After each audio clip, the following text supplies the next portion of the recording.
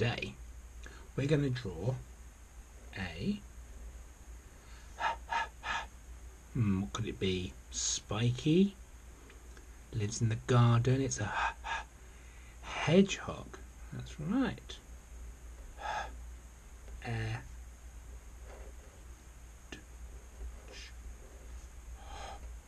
Og. A hedgehog. Hmm.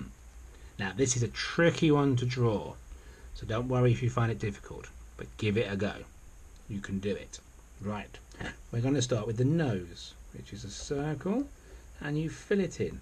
So a little black circle like that.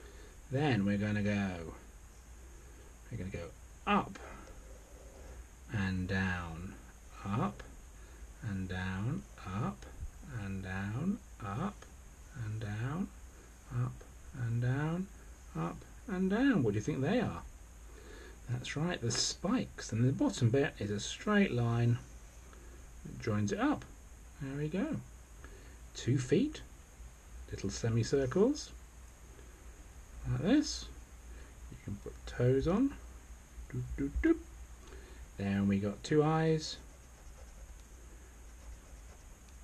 and a smile. And that's it. So we've got circle to start with, then some spikes, and then the bottom, two feet, two eyes, and a mouth. So we had a nose, n for nose.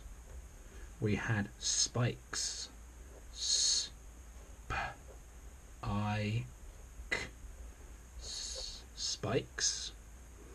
And we had feet. So we had two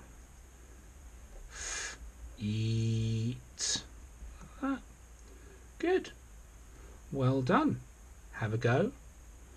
Where would a hedgehog live? Think about your habitats. Where would a hedgehog live? Hmm. Maybe under a big pile